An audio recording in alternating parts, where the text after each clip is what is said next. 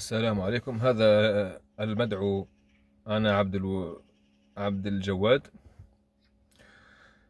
يعني جاء ب يعني بآثار ضعيفة لم تثبت لا عن ابن عباس ولم تثبت عن الإمام مالك ولا الشافعي. سبحان الله يشترط شفت كيفاش خبثاء الأشاعرة يشترطون الحديث الصحيح المتواتر والآية المحكمة في العقيدة.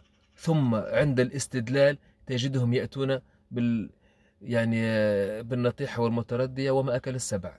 بالضعيف والهش والمكذوب والموضوع على رسول الله عليه الصلاة والسلام أو على صحابته رضي الله عنهم أو على التابعين وتابع التابعين والأئمة الأربعة. فيأتون بكل ما لم يثبت عنهم ولهم ويستدلون به في العقيدة. عجبا والله أعجب من أمركم يا يا أشاعرة. ف وقد أول ابن عباس قوله يوم يكشف عن ساق فقال يكشف عن شدة. هذه الشبهة رد عليها علماؤنا وسوف أنقلها بتمامها وكمالها. و... و... وأول قوله تعالى والسماء بينها بين بين والسماء بنيناها بأيد وإن لموسعون. هذه في سورة الذريات. قال بقوة. الأيد هي القوة. الأيد أنت لا تفرق بين الأيد واليد. الأيد هي القوة. ف... فهو لم يتأول هنا. إن... إنما فسرها. التأويل الذي تقولون عنه أنتم هو صرف اللفظ عن ظاهره بدون قريرة. و بدون قرينة. وكما هو عند الأصول يعني عند الأصوليين معروف أنه لا يصرف اللفظ عن ظاهره إلا بقرين. هذا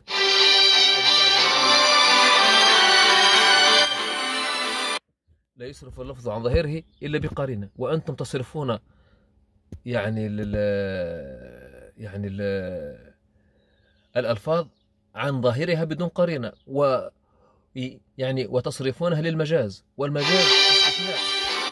المجاز استثناء وليس الأصل. الأصل في لغة العرب هو الحقيقة وليس المجاز. هذه واحدة. وصفات الله حقيقية وليست مجازية. سبحان الله نحن نتكلم عن صفات الله. لا نتكلم عن المجاز. والله لو قلت لي يعني نساءكم حرث لكم فأتوا حرثكم أن شئتم كما قال في سورة البقرة. وقلت يعني الحرث هو يعني وطء النساء. نساءكم يعني؟ والله لو قلت لك هذا هذا تأويل أو تفسير. لكن أن تأتي يعني يعني تستدل بأي مثل هذه وتقول انظر كيف تأولها السلف؟ هذا لا ننازعك فيه. لكن السلف أثبتوا صفة الله على الحقيقة وليس على المجاز لأن لأن وجود الله حقيقي وليس مجازي. كذلك يد الله حقيقية وليست مجازية. حياة الله حقيقية وليست مجازية. وكذلك سمع الله وبصر الله حقيقيان وليس مجاز. ووجه الله حقيقي وليس مجازي. فسبحان الله تصرفون الألفاظ عن ظاهرها بدون بدون قرينة ثم تقولون تؤولون هذا هو التأويل الذي قال عنه السلف لا تؤولوها لا تفسروها لا تؤولوها بتأويل باطل تأويل جهمية. وإلا السلف أول صفات الله.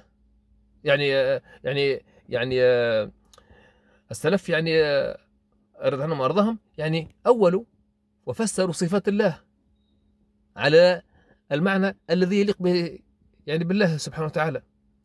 وفي نفس الوقت قال لك لا تؤولوا ولا تفسروا. تعرف معناها إيش ولا؟ لا تفسروا ولا تؤولوا التأويل الباطل تأويل جهمية وإلا لكان كلام السلف متناقض ومتضارب. كيف يقولون؟ يعني لا تؤولوا ولا تفسروا وهم يؤولون وهم يؤولون ويفسرون. بل حتى ابن عباس رضي الله عنه وارضاه دعا له الرسول عليه الصلاة والسلام بالتأويل. قال اللهم فقهه في الدين وعلمه التأويل. بل ابن عباس قال يعني أربع كلمات لم أكن أعرفها يعني في القرآن ولا أعرف معناها. وبعدها أعرفها يعني هي منهم حنان يعني حنان وغسلين على ما أظن وأربع كلمات. قال ثم بعدها علم معناه مجاهد قال عرضت القرآن ثلاث مرات على ابن عباس آية آية.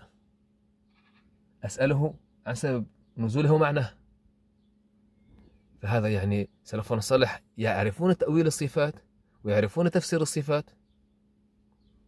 والقول أن ب... أن الإمام أن الإمام أحمد قال يعني يعني أول مجيء يعني بأمره هذا لم يثبت عنه لأنه يثبت مجيء الله تعالى المجيء الحقيقي.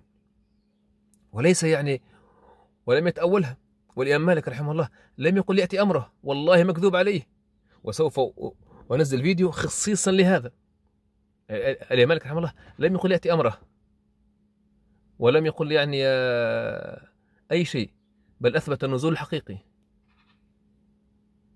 فلا أدري يعني كيف تأتون بالضعيف.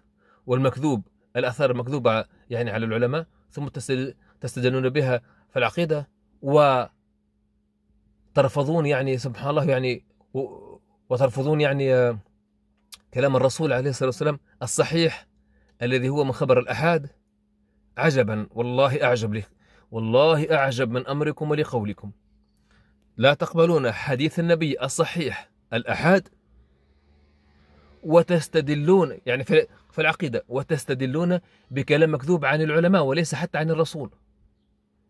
فرجاء يعني ورجاء منكم يعني ميؤوس منه؟ أن تحترموا يعني إن لم تحترموا عقول ناس احترموا على الأقل عقولكم. أمركم عجيب وحالكم مريب.